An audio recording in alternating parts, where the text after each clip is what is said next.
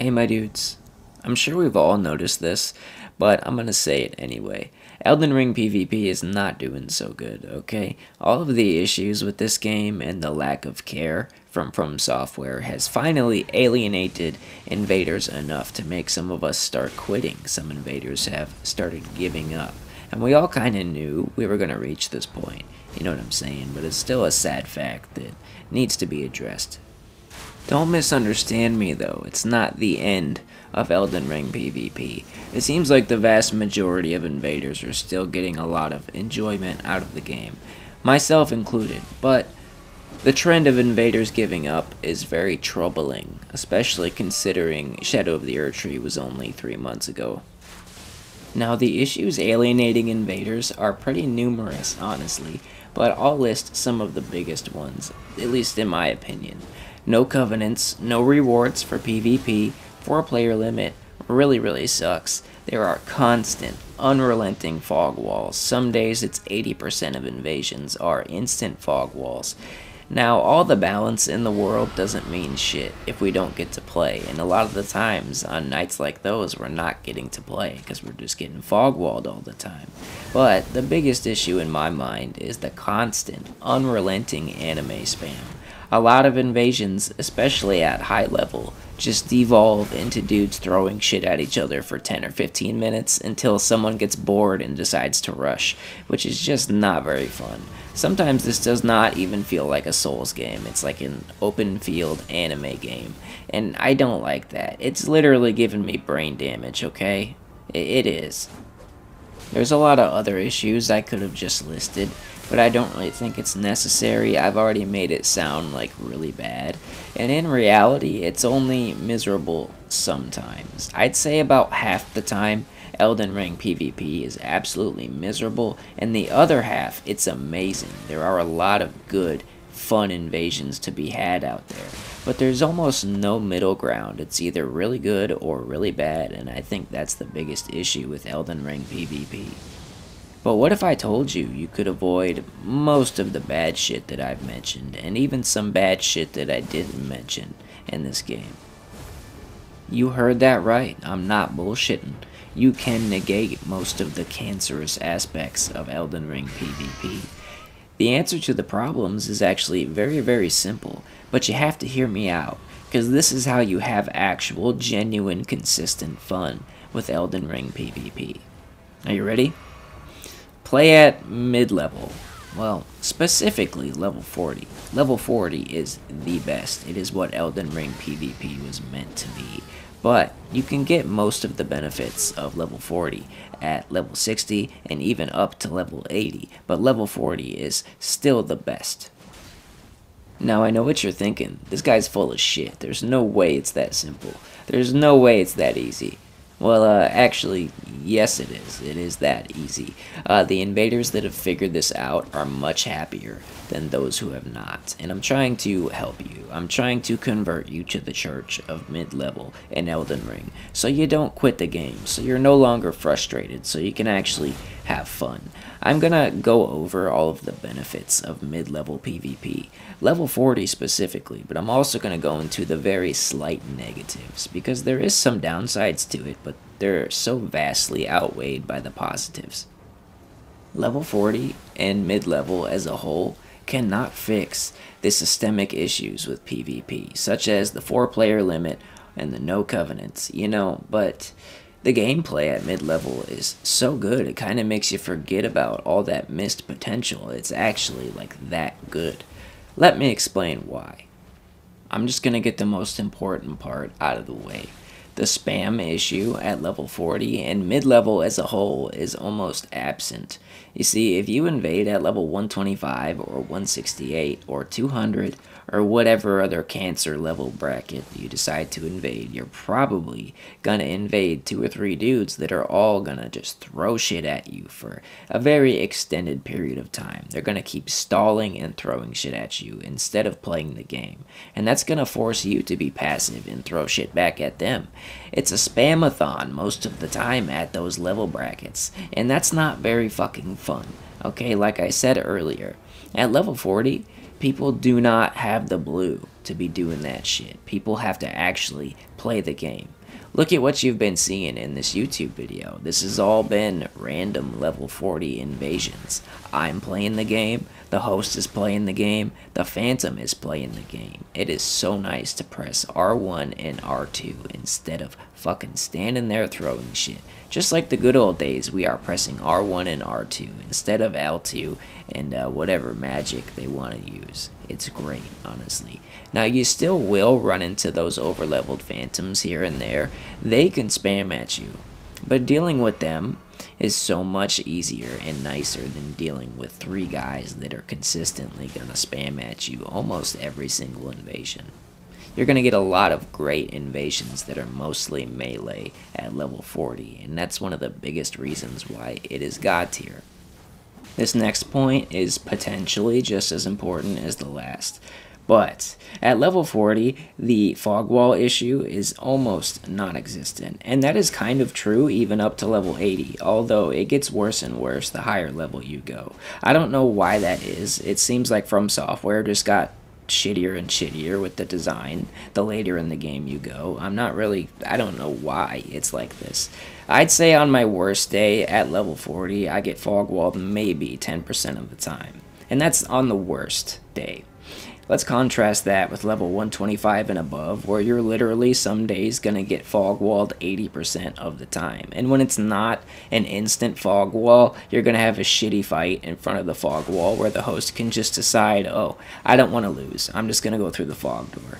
That really sucks. You don't really get to play at high level, and like I said, nothing matters if you don't get to play because you're getting fog walled.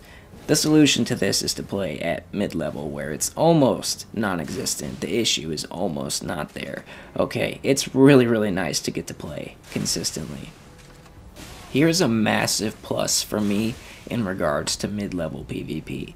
But uh, the vast majority of invasions at level 40, level 60, level 80 are organic, and it's really, really nice. Uh, what is an organic invasion, you may ask? There's a lot of misconceptions about that.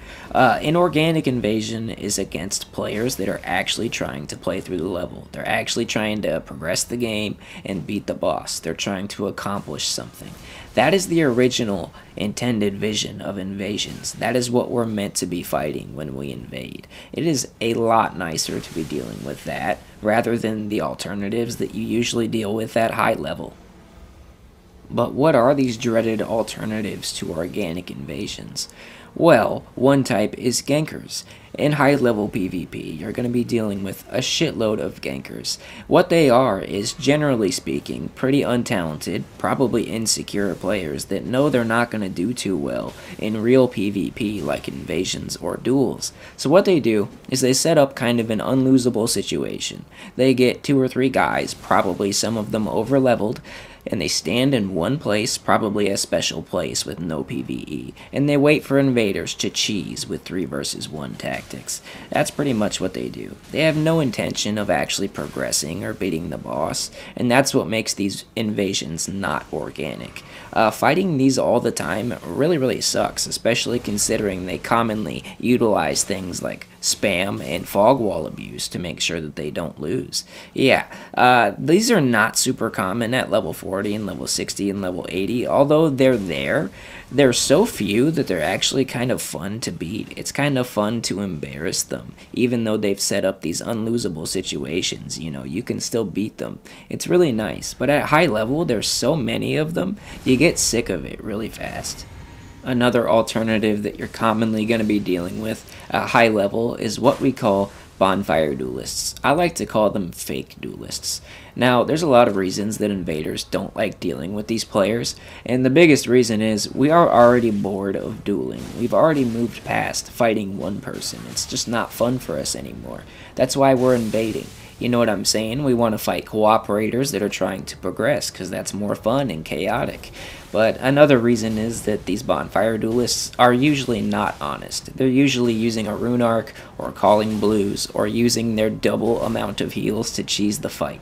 Uh, you're going to notice that a common theme with gankers and bonfire duelists is that they're not very good at PvP and they're trying to tip the scales in any way they can. These people just are not very fun to deal with. Thankfully, they're not very common at level 40 or level 60 or level 80, but they are very common at high level. This is a great reason to try out level 40s, just to be away from these type of players in this game.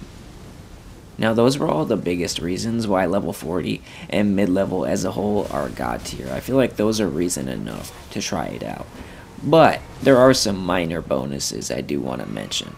For one, the damage is strangely not bad shit. It's actually like really, really chill. You can actually afford to make mistakes at level 40. Contrasting that with high level where you can lose in like two or three hits, it's so much nicer. But you also have to consider that there will be overleveled phantoms here and there, and they do do unreasonable damage, but it's not nearly as bad as having like everybody do unreasonable damage like they do at high level, you know?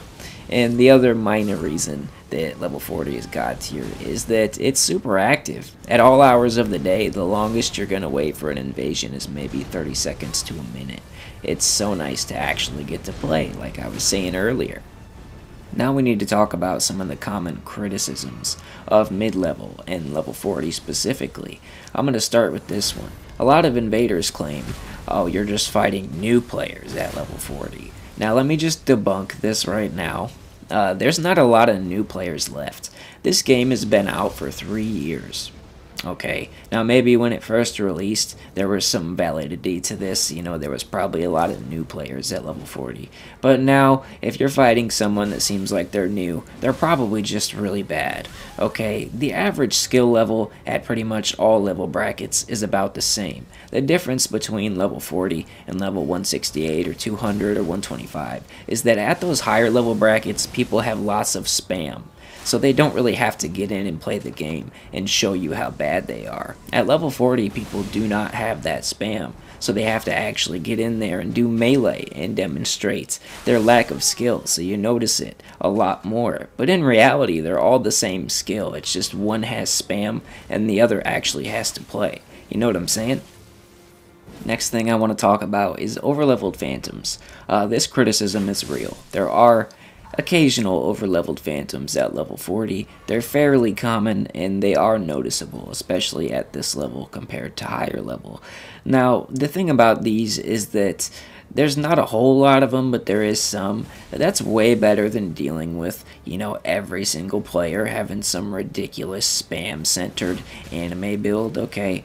Now, the thing about overleveled phantoms is they are beatable and they're very satisfying to beat. You can just straight up make a build that is designed to deal with them. Like Tarnished Hunter here. The reason all of his weapons have lightning is because it's the best damage type against overleveled phantoms. That is also why he has Scarlet Rot and every single other status effect in the crossbow because those help deal with overleveled phantoms.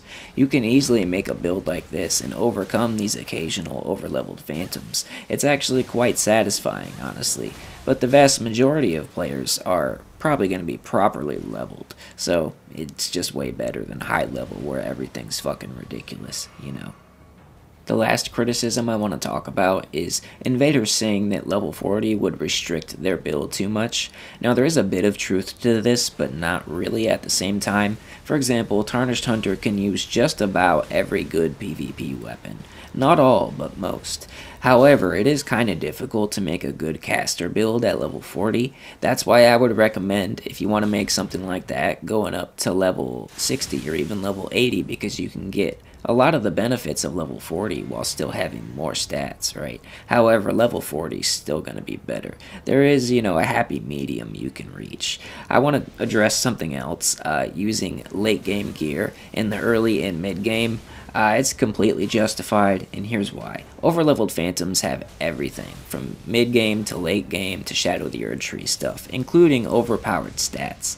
It's justified to use whatever you need to use to deal with them, so just do it. Don't limit yourself. I hope you try level 40 because I want you to have fun. My level 40 live streams will confirm all of this by the way. I'm still going to enjoy 168 because there are still some good invasions there, but level 40 is king. Be sure to like and subscribe if you're cool, and dislike it if you dislike it.